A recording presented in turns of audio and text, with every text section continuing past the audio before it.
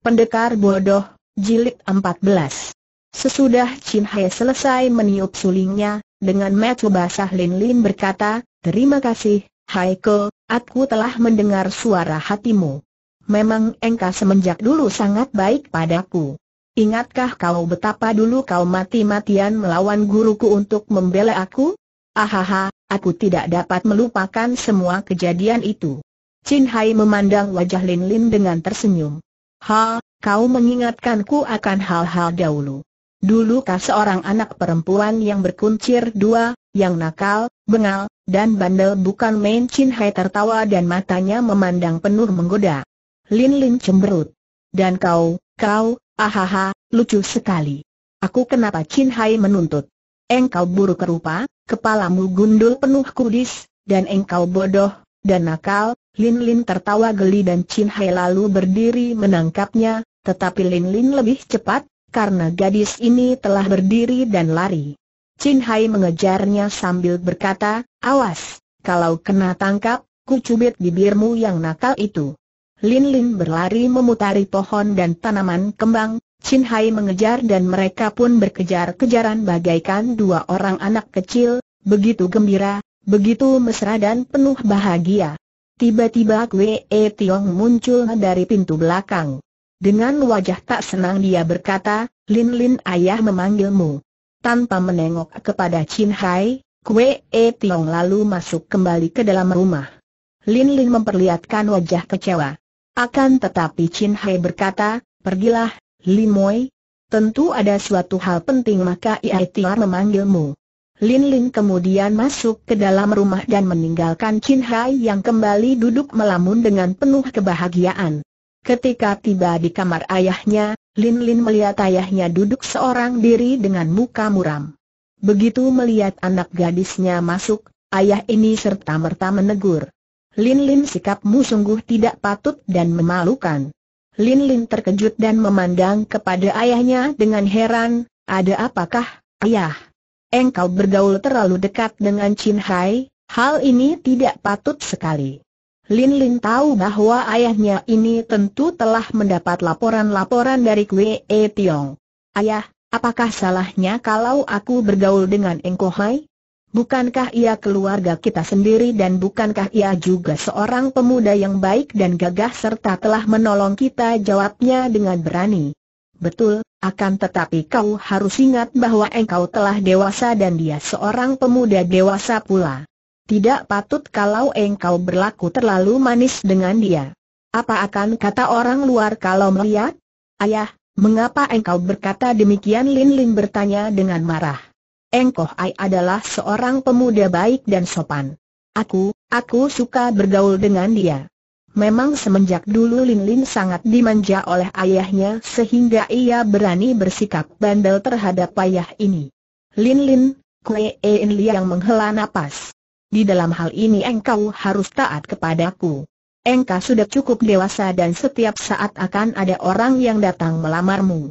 Engkau harus memutuskan hubunganmu dengan Chin Hai dan jangan lagi kau bertemu dengan dia kalau tidak ada keperluan penting.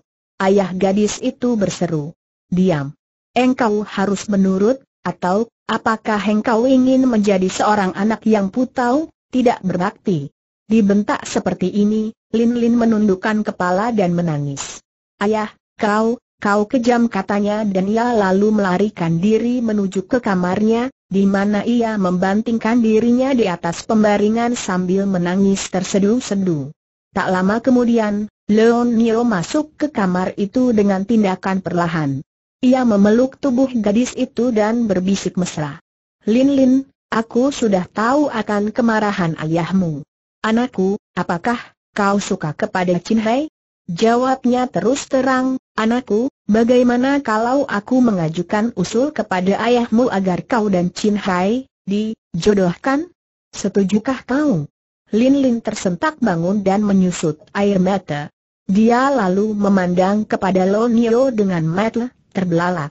Tak pernah terpikir olehnya tentang perjodohan dengan Chin Hai, karena itu pertanyaan yang tiba-tiba datangnya ini lantas membuatnya bingung dan malu. Kemudian, sambil terisak ia memeluk ibu tirinya dan menangis lagi. Lin Lin, kata Lon Nio sambil mengusap-usap rambut gadis itu, kepadaku tak perlu kau menyimpan rahasia hatimu. Kalau kau tidak setuju, katakanlah. Jika kau diam saja, maka akan kuanggap bahwa kau setuju, dan sekarang juga aku akan bicara dengan ayahmu. Lin Lin diam saja, hanya tubuhnya bergoyang-goyang karena menahan isak tangisnya. Sudahlah, tenangkan hatimu dan kaserahkan saja persoalan ini padaku, dan setelah menepuk-nepuk bahu Lin Lin, Nyonya yang baik hati ini lalu meninggalkan kamar Lin Lin dan menuju ke kamar suaminya. Lin Lin adalah seorang gadis yang berhati keras dan bersemangat. Ia tak dapat menahan sabar menunggu hasil daripada pembicaraan ibu tirinya dengan ayahnya. Maka, setelah menanti sebentar, lalu dia mempergunakan kepandaiannya melompat keluar dari jendela kamarnya, Kemudian dengan hati-hati sekali dia mengintai di atas genteng dan mengintai ke bawah, di mana ayahnya sedang bercakap-cakap dengan Lonio. Pada saat itu Chin Hai dengan hati girang sekali masuk ke dalam rumah untuk memasuki kamarnya. Tiba-tiba telinganya yang tajam dapat menangkap lapat-lapat suara Kwe En yang seperti orang sedang marah. Maka ia lalu mengambil jalan memutar, keluar lagi ke belakang dan mempergunakan kepandaiannya melompat ke atas genteng. Alangkah herannya ketika dia mendapatkan Lin Lin sedang mengintai pula, maka secara diam-diam ia cepat menyelinap ke tempat lain dan mengintai dari bagian lain. Ia tak perlu mengintai, hanya mempergunakan ketajaman telinganya untuk mendengarkan. Tidak, tidak. Sekali-kali tidak kata-kata Kwe En Liang keras-keras dan dengan suara marah. Memang ia seorang yang cukup baik dan cukup gagah, akan tetapi orang zaman dahulu pernah berkata bahwa memilih mantu harus melihat keadaan orang tuanya. Dan apakah orang tua anak itu? Pemberontak. Apakah kau pikir aku harus berbesan dengan seorang pemberontak? Tetapi ayahnya sudah meninggal dunia dan tidak perlu lagi kiranya kita membawa-bawa namanya terdengar Lon Nima membantah. Hem, Harimau mati meninggalkan kulitnya, manusia mati meninggalkan namanya. Dan nama apakah yang ditinggalkan oleh orang Sisyai itu? Nama busuk pula. Pikirlah dengan tenang. Chin Hai berbeda dengan ayahnya, ia adalah seorang anak yang baik. Juga mereka berdua telah saling mencintai. Apa terdengar Kwe En Liang berseru marah? Saling cinta? Bagaimana kau bisa tahu? Lin Lin sudah mengaku kepadaku. Anak kekarat. Tidak, tidak boleh. Ia harus menjadi mantu keluarga Gan di Sitok, dan habis perkara. Kedua suami istri yang sedang bertengkar ini tidak tahu betapa di atas genteng terdapat dua orang yang pada saat itu berwajah pucat sekali. Air mata mengalir turun membasahi pipi Lin Lin dan hatinya terasa bagaikan diremas-remas. Sedangkan Chin Hai berdiri pucat dan air matanya mengalir pula, akan tetapi bukan akibat sedih, hanya sakit hati mendengar betapa ayahnya dan keluarganya dipandang hina dan rendah sekali. Sakit hatinya yang dahulu, yang telah dapat dipadamkan ketika ia bertemu kembali dengan Ie-Ie-nya dan terutama dengan Lin Lin, kini timbul kembali. Ayahnya sekeluarga telah ditangkap oleh Kwe En Liang, dan kini bahkan dihinanya lagi. Ayahnya yang telah menjadi tanah itu masih direndahkan. Timbul keangkuhan serta kemarahan di dalam hati Chin Hai. Kalau saja dia tidak ingat kepada Lin Lin, tentu dia sudah meloncat turun dan menyerbu Kwe In Liang yang berani merendahkan ayahnya. Dengan hati sangat terluka Chin Hai meloncat turun dan langsung menuju ke kamarnya, mengambil semua pakaiannya dan segera keluar dari situ. Akan tetapi, ketika keluar dari rumah itu, Lin Lin yang berada di atas genteng sambil menangis, dapat melihatnya. Cepat gadis ini meloncat turun pula dan mengejar sambil berseru. Haiko, kau hendak ke mana? Mendengar suara panggilan Lin Lin, Chin Hai mengeraskan hatinya dan tanpa menengok lagi dia malah mempercepat larinya. Akan tetapi, karena serangan batin yang amat hebat itu dan karena nafsu marahnya yang menggelora, maka luka di dadanya yang belum sembuh betul itu lalu pecah kembali dan tiba-tiba saja ia merasa betapa dadanya sesak dan panas. Chin Hai mempertahankan rasa sakit ini dan terus berlari cepat, sedangkan Lin Lin tetap mengejar sambil berteriak-teriak dan menangis. Engko Hai, tunggu. Engko Hai.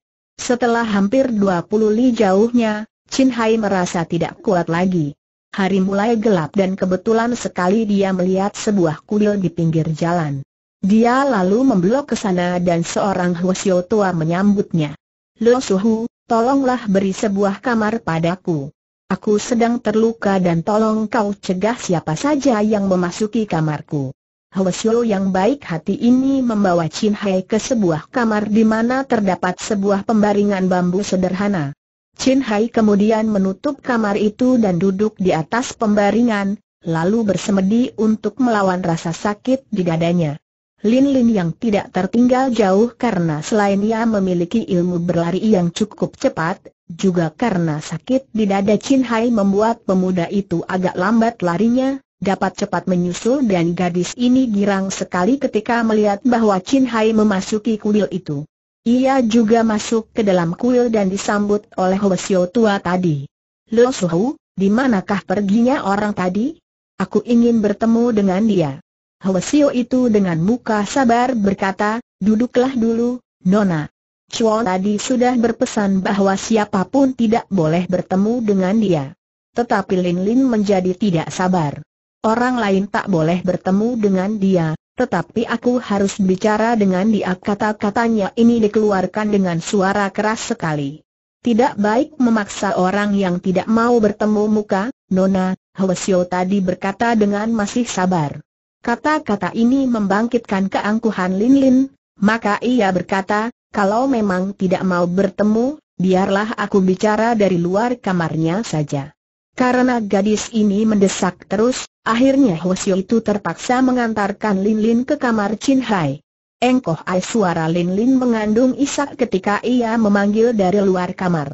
Semenjak Lin Lin datang, Chin Hai sudah mendengar suaranya, dan pemuda ini menahan gelora hatinya yang ingin sekali keluar dan bertemu dengan gadis itu. Akan tetapi hatinya berbisik, ayahnya telah menghina ayahku. Maka ia lalu menjawab dari dalam, Lin Lin, ada apakah kau mengejarku? Bukankah kau sudah mendengar sendiri kata-kata ayahmu tadi? Hwasio itu meninggalkan mereka karena ia maklum bahwa gadis ini benar-benar memiliki hubungan dengan orang di dalam kamar. Haiko, jangan kasamakan ayah dengan aku kata Lin Lin dengan suara memohon. Sudahlah Lin Moi, kau pulanglah karena ayahmu tentu akan marah sekali jika tahu kau menyusul ke sini. Pulanglah dan biarkan aku orang rendah ini merana seorang diri. Kau lupakan aku, aku tidak berharga di hadapan keluarga Kue E yang terhormat. Ingatlah, aku seorang keturunan pemberontak hina. Engkau hai. Lin Lin menangis sedih dan dengan nekat dia lalu mendorong daun pintu kamar Chin Hai. Dia melihat betapa pemuda itu dengan muka pucat sedang rebah di pembaringan bambu dan keadaannya menyedihkan sekali karena pipi pemuda itu basah oleh air mata. Engkoh Ailin Lin menubruk dan gadis ini menangis terseduh-seduh sambil mendekap kaki Chin Hai yang tertutup selimut. Melihat keadaan gadis kekasihnya yang benar-benar menyatakan cinta hati yang sangat tulus kepadanya ini, hati Chin Hai melunak. Lin Moi. Lin Moi, jangan kau bersedih, adikku yang manis, katanya dengan penuh kasih sayang. Lin Lin menyusut kering air matanya, dan di antara air mata yang membasahi bulu mata yang panjang dan bagus itu, ia tersenyum. Hatinya girang lagi mendengar suara Chin Hai yang penuh kasih sayang itu. Apabila kau tidak ingin aku menangis, janganlah kau membenciku dan jangan kau pergi meninggalkan aku, Engko Hai. Chin Hai merasa terharu sekali. Adikku, percayalah, selama hayat dikandung badan, aku takkan sanggup membenci kau. Aku akan tetap mencintaimu, mencinta dengan sepenuh hati dan nyawa. Lin Lin memandang dengan sayu. Haiko, kau maafkanlah kata-kata ayahku tadi. Dia memang kejam, ah, akan kukatakan terus terang kepadanya. Aku tidak sudi dijodohkan dengan orang lain, lebih baik aku mati atau, atau, aku akan minggat dan pergi bersama kau, Engko Hai. Chin Hai tersenyum sedih. Jangan begitu, Lin Lin tidak baik seorang gadis gagah dan berbudi seperti engkau melarikan diri. Habis, bagaimanakah baiknya, Haiku? Ayah begitu keras hati dan kukuh. Putrinya begini keras hati dan kukuh, kenapa ayahnya tidak Chin Hai menggoda? Kita harus bersabar. Aku tahu bahwa ayahmu bukan seorang jahat, maka biarlah kita menanti sampai dia berubah pendirian dan tidak begitu membenciku. Ayah tidak membencimu, tetapi agaknya membenci ayahmu. Chin Hai menghela napas. Itulah. Aku ingin sekali mengetahui riwayat ayahku. Sekarang kau pulanglah agar supaya kemarahan ayahmu mereda. Percayalah, Lin Lin, aku takkan melupakanmu dan pada suatu hari baik, pasti aku akan datang kembali. Lin Lin mengangkat mukanya. Kau akan pergi ke mana, Haiko? Aku akan pergi ke kampung kelahiranku dan hendak mencari keterangan tentang orang tuaku. Tetapi, kau pasti akan kembali kepadaku, bukan? Tentu saja, Lin Wei, kau kira aku akan merasa senang berjauhan dengan engkau? Lin Lin kembali memeluk lutut Chin Hai yang masih rebah di pembaringan. Haiko, kalau kau tidak kembali, Aku akan betul-betul minggat dari rumah dan akan mencarimu sampai dapat. Akhirnya Lin Lin meninggalkan tempat itu setelah berkali-kali Chin Hai diharuskan berjanji bahwa pemuda itu benar-benar akan kembali. Akan tetapi, belum berapa lama gadis itu pergi, tiba-tiba saja ia kembali lagi dengan wajah pucat sekali. Dengan terengah-engah ia berkata setelah mendorong pintu kamar Chin Hai. Celaka, Haiko, Celaka gadis itu tak dapat melanjutkan kata-katanya, akan tetapi lalu menangis dengan sedih. Chin Hai meloncat dari tempat tidurnya dan cepat memegang kedua pundak Lin Lin Lin Moi, tenanglah. Ada apakah yang terjadi? Lama sekali Lin Lin menangis sedih, baru dia bisa berkata. Celaka, Haiko. Rumah sudah kedatangan musuh. Perwira-perwira jahanam itu kembali datang dan mencelakakan serumah tanggaku. Semua terluka dan, dan ayah. Tanpa banyak cakap lagi Chin Hai cepat menarik tangan Lin Lin dan diajak keluar dari kuil itu. Dia menggunakan kepandaiannya berlari cepat sambil menarik tangan Lin Lin hingga gadis ini seakan-akan terbang. Mereka segera menuju ke rumah keluarga Kwe dan dari jauh mereka telah mendengar suara tangis sedih. Ketika Lin Lin datang bersama Chin Hai, dengan pedang di tangan Kwe E Tiong langsung menyerang Lin Lin dengan hebat. Akan tetapi, sekali melayangkan kakinya, Lin Lin telah berhasil menendang pergelangan tangan Kwe E Tiong dan pedang itu mencelat jauh. Perempuan rendah. Sundal tak tahu malu teriak Kwe E Tiong dengan mata beringas. Engkau main gila di luar, tidak tahu di rumah ditimpa malapetaka. Aku akan mencekik lehermu dengan tanganku sendiri. Pemuda yang sudah kalap ini lalu menubruk maju. Akan tetapi Chin Hai lalu mengulurkan jari tangan menotoknya sehingga dia lantas roboh dengan lemas, tak dapat berkutik maupun berteriak lagi. Lebih baik begini, agar dia jangan membuat gaduh lagi, kata Chin Hai dan bersama Lin Lin dia lalu lari memasuki rumah. Pemandangan yang nampak di dalam rumah itu membuat sepasang kaki Chin Hai terasa lemas dan memeluk tubuh Kwe En Liang yang rebah di lantai mandi darah. Pada sudut masih nampak banyak orang lain rebah mandi darah, di antaranya Lo Niu, Kwe E Sin, Kwe E Bun, Kwe E Siang, dan Kwe E An. Chin Hai cepat melakukan pemeriksaan. Kue En yang menderita luka parah di dadanya karena bacokan pedang dan jiwanya sukar ditolong lagi. Leon Nio ternyata sudah tewas karena bacokan yang tepat mengenai lehernya. Demikian juga Kue E Sin, Kue E Bun dan Kue E yang telah tewas.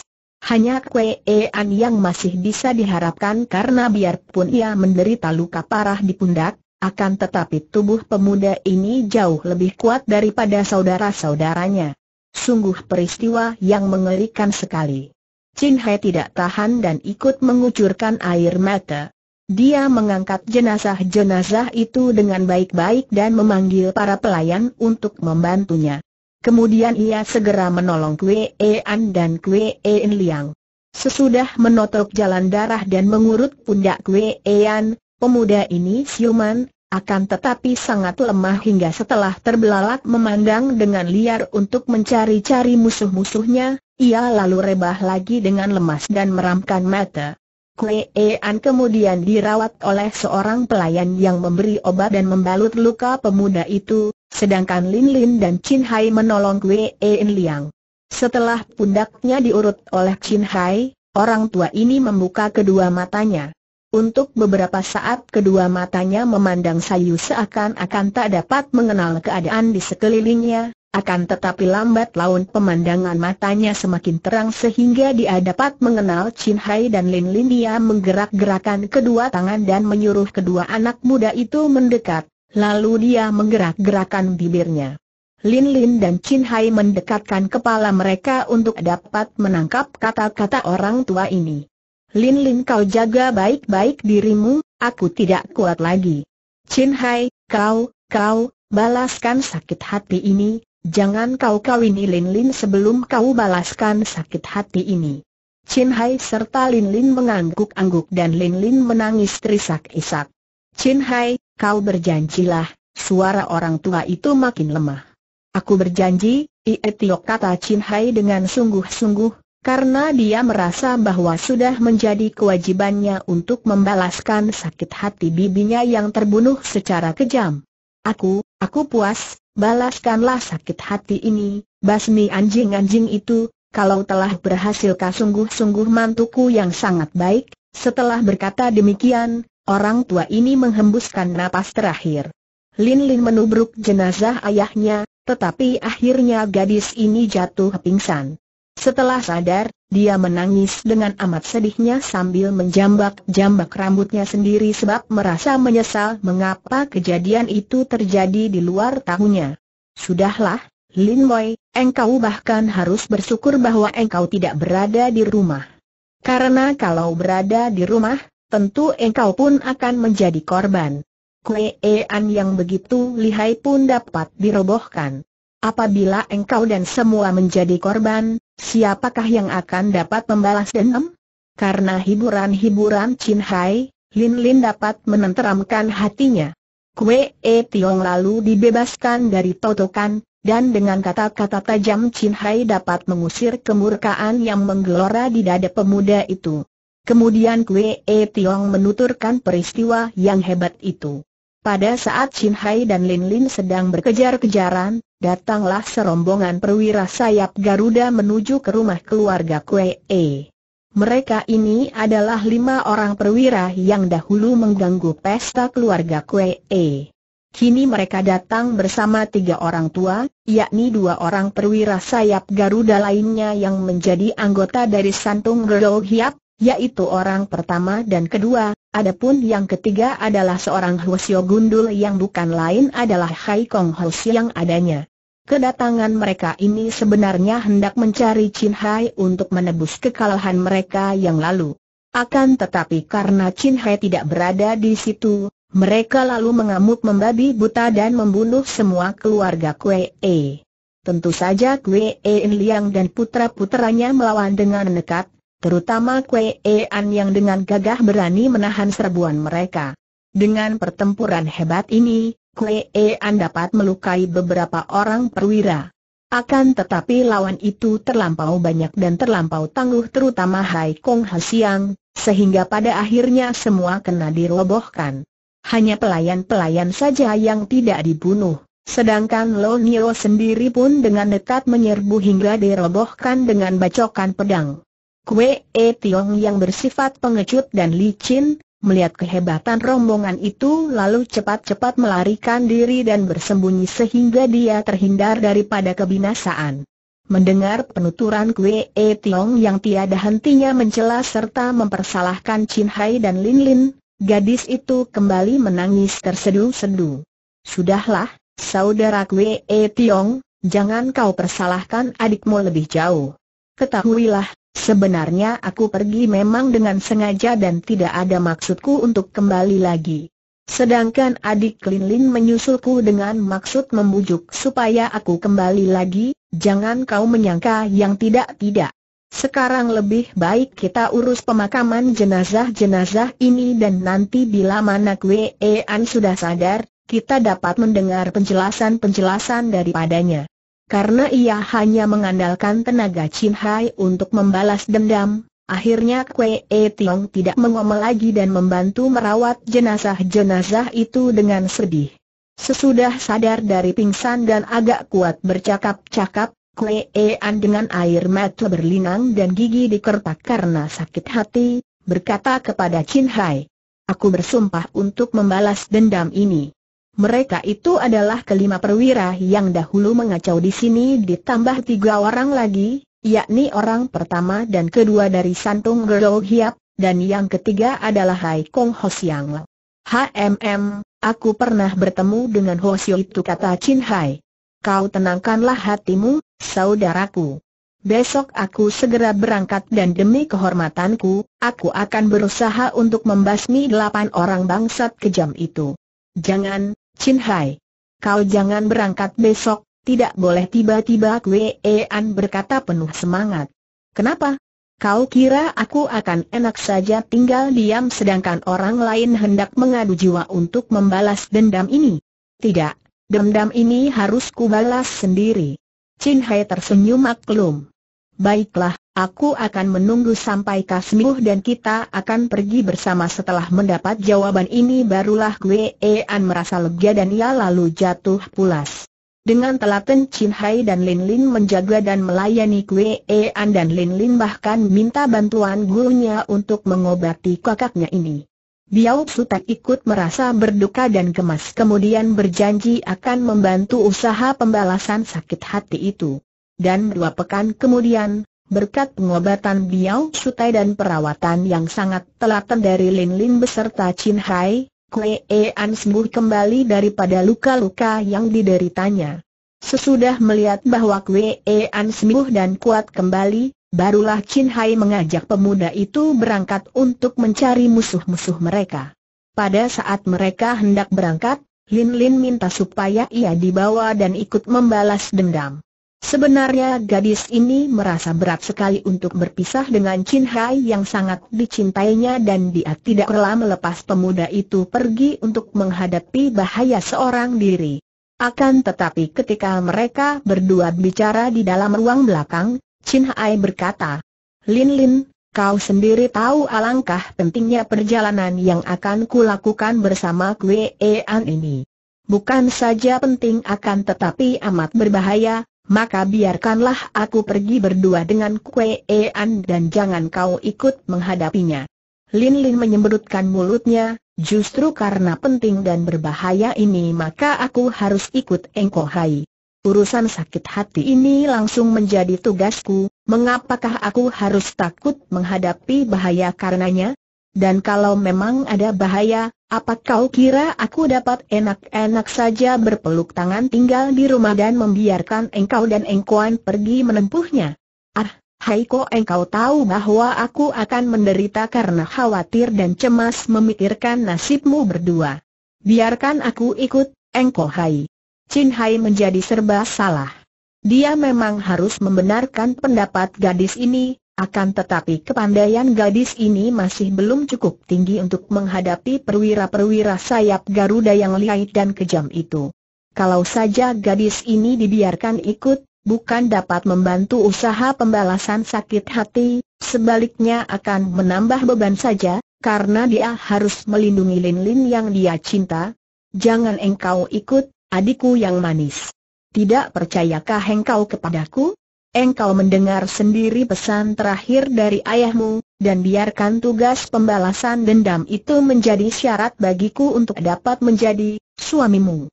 Akan tetapi dengan sikap membandelin Lin bahkan lalu menangis sambil membanting-banting kaki dan berkata, tidak, tidak, aku mau ikut. Chin Hai melihat sikap Lin Lin yang seperti seorang anak kecil hendak ditinggal pergi oleh ibunya ini, lalu tersenyum dan menyentuh pundaknya. Sudahlah, jangan engkau marah. Biar kita merundingkan dahulu dengan kakakmu serta gurumu, karena aku bermaksud berangkat besok.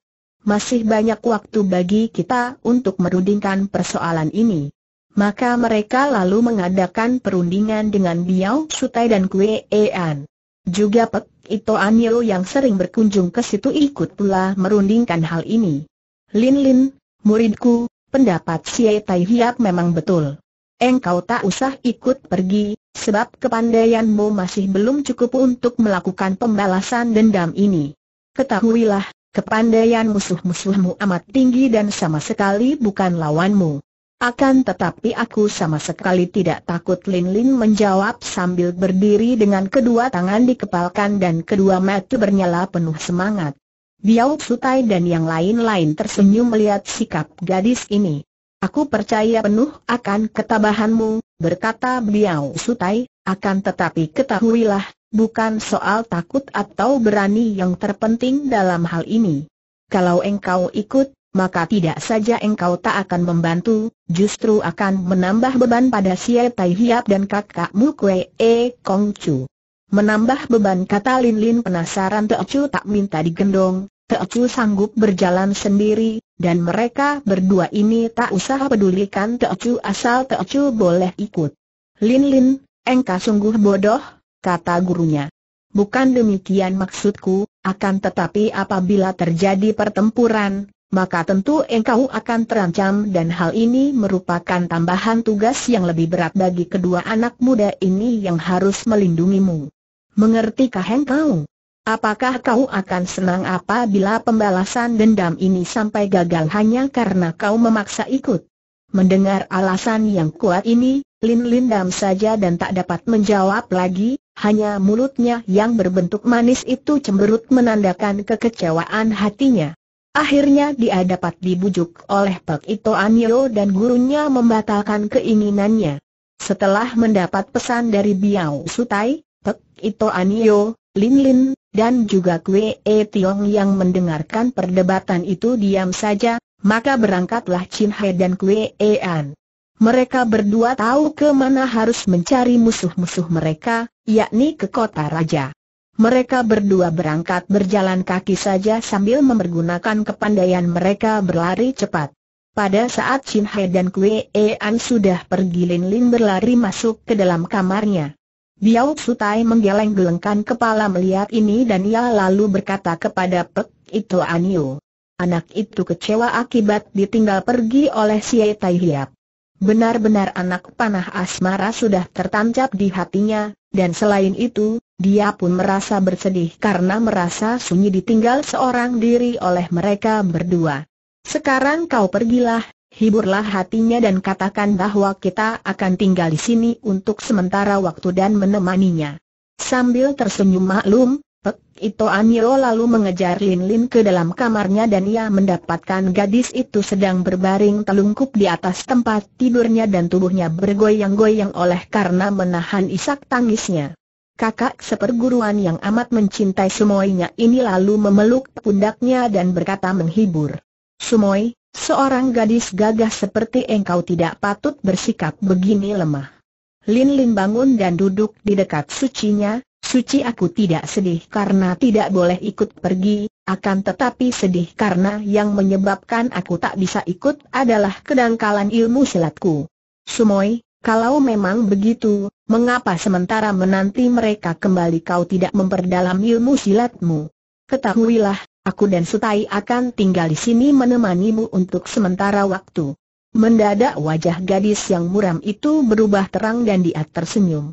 Pek Ito Anyo menjadi geli melihat gadis yang aneh mudah berubah ini. Baru saja menangis sekarang sudah tersenyum. Lin Lin lalu menghadap kepada gurunya dan dia sendiri lalu mengatur dua buah kamar di dalam rumah yang besar itu untuk Suci dan gurunya. Kemudian ia minta kepada gurunya untuk memberi petunjuk-petunjuk untuk memperdalam ilmu silatnya.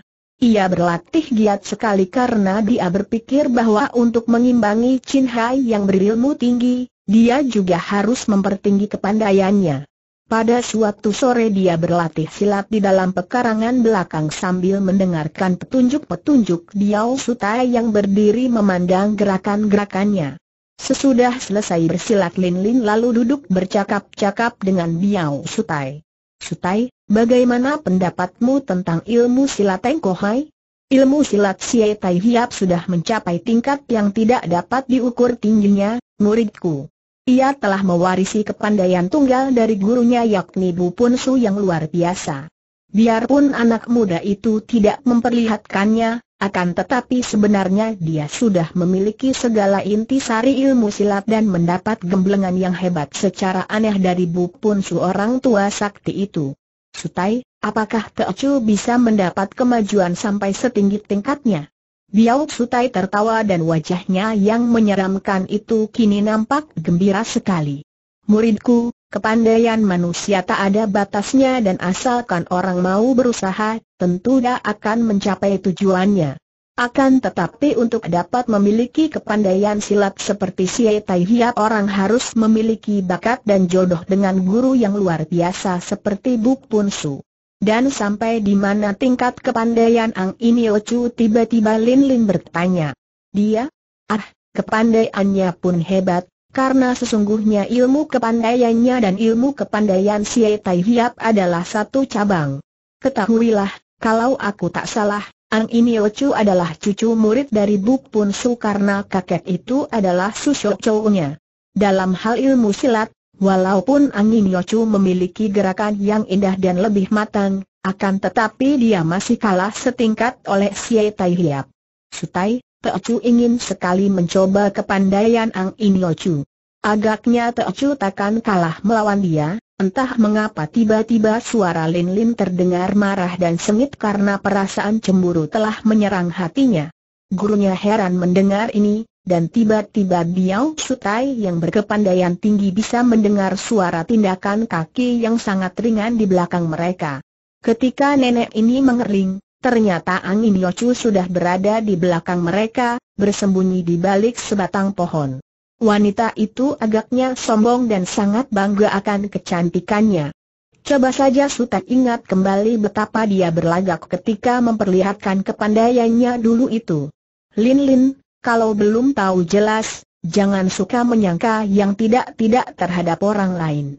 Lagi pula, bukankah dia telah membantu pihakmu dalam pertempuran dulu itu kata Biao Sutai yang hatinya merasa tidak enak sekali karena tentu saja Angin Yochu dapat mendengar percakapan mereka.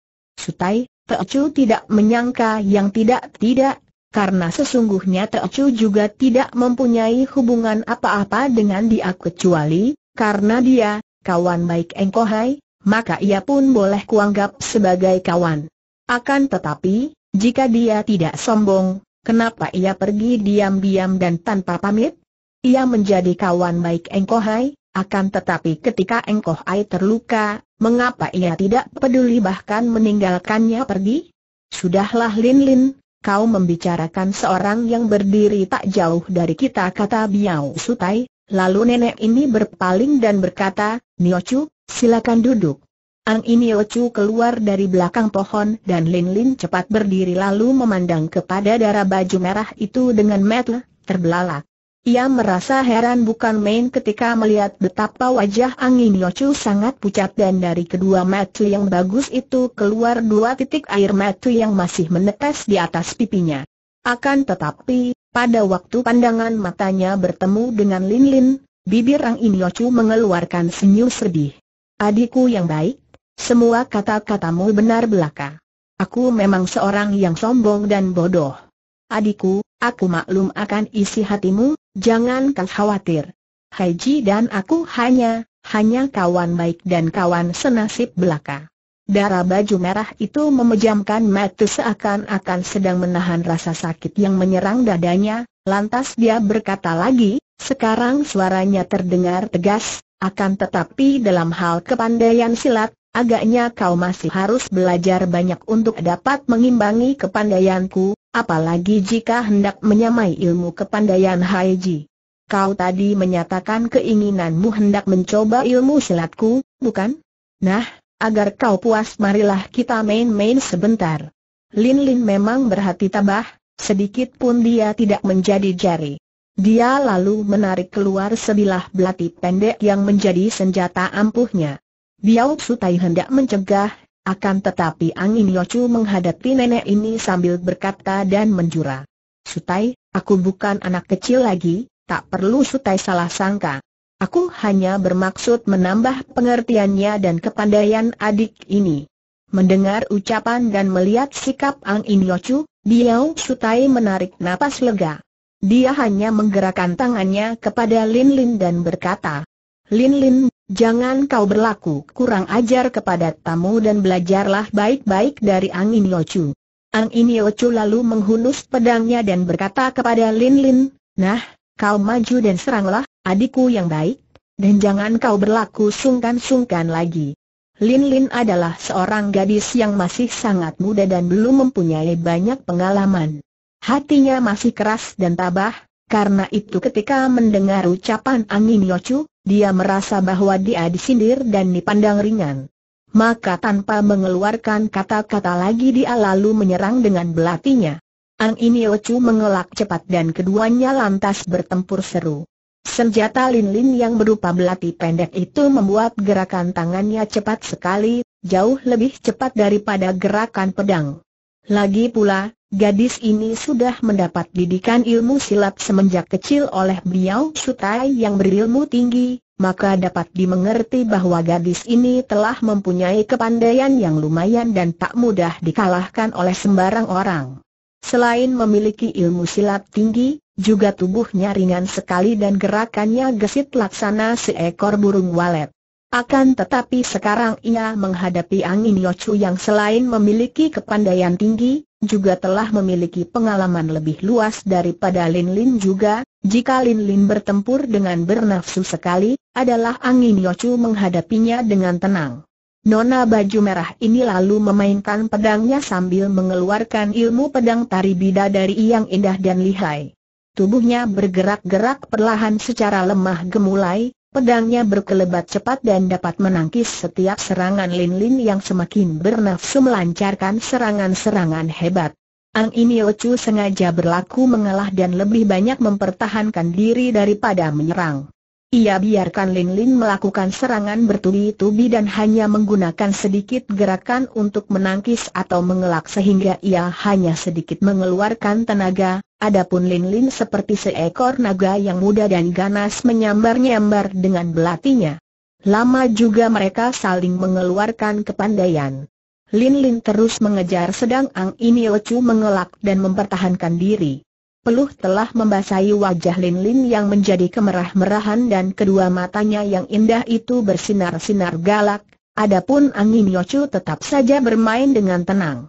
Rambut Angin Yochu yang diikat dengan sapu tangan merah dan terurai ke belakang itu berkibar mengikuti gerakannya, sedangkan rambut Lin Lin yang hitam dan panjang serta dikuncir dua menyabet ke sana kemari bagaikan dua ekor ular hitam. Biao Sutai berdiri menonton pertempuran itu dengan mata kagum. Karena asyiknya ia menonton, tak terasa lagi kadang-kadang Biao Sutai menggerak-gerakkan tangannya seakan-akan dia sendiri yang sedang bertempur menghadapi angin Yochu. Kalau Lin Lin melakukan kesalahan dalam gerakannya, ia menjadi kecewa lantas membanting-banting kakinya, sedangkan kalau Lin Lin melepaskan kesempatan baik dalam sebuah serangan, ia menjadi marah dan mengeluarkan suara dengan lidahnya. Orang tua ini benar lupa diri karena asik dan kagumnya melihat pertempuran itu. Sebetulnya Angin Yocu hanya hendak mengukur saja sampai di mana kepandaian gadis itu. Karena itu, setelah puas melayani Lin Lin, Tiba-tiba dia merubah gerakannya dan kini melancarkan serangan-serangan hebat sehingga pedangnya berkelebat amat cepat dan bayangan tubuhnya bergulung-gulung akibat cepatnya gerakan tubuhnya. Lin Lin terkejut sekali dan terdesak hebat. Akan tetapi Angin Yochu tidak mau menyerang terus, bahkan lalu melompat ke belakang sambil berkata, Adik, sudah cukup kita mengukur tenaga. Lin Lin merasa kagum sekali. Kini ia tahu bahwa kepandaian Ang Iniochu jauh lebih tinggi daripada kepandaiannya sendiri dan tahu pula bahwa nona baju merah itu tidak berniat buruk. Maka buru-buru ia menyimpan belatinya dan menghampiri Ang Iniochu. Cici, kepandaian lihai sekali dan aku mohon engkau sudi memberi petunjuk. Ang Iniochu pada saat mendengar kata-kata ini dan melihat sikap yang polos dari Lin Lin, timbul perasaan sukanya. Ia memegang Lin Lin, dan berkata, Adik Lin Lin, engkau masih harus belajar banyak kalau ingin mengimbangi kepandaian Haiji. Ketika melihat betapa wajah gadis ini tertutup oleh kedukaan, dia bertanya, adik Lin Lin, kenapa wajahmu nampak amat murung? Bagaimana dengan keluargamu, baik-baik saja bukan?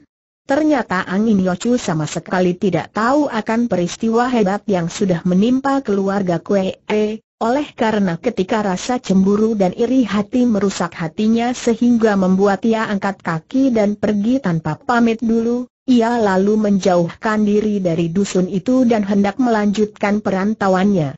Telah dicobanya dengan berkeras hati untuk melupakan Chin Hai, akan tetapi ternyata ia gagal. Makin dilupa, justru ia makin teringat kepada pemuda itu dan akhirnya ia tak dapat menahan hatinya lagi. Dia teringat betapa Chin Hai mendapat luka dan dia menjadi khawatir sekali. Inilah yang membuat dia kembali ke kampung itu dan dengan diam-diam masuk pekarangan belakang hingga mendengar percakapan antara Lin Lin dan Biao Sutai.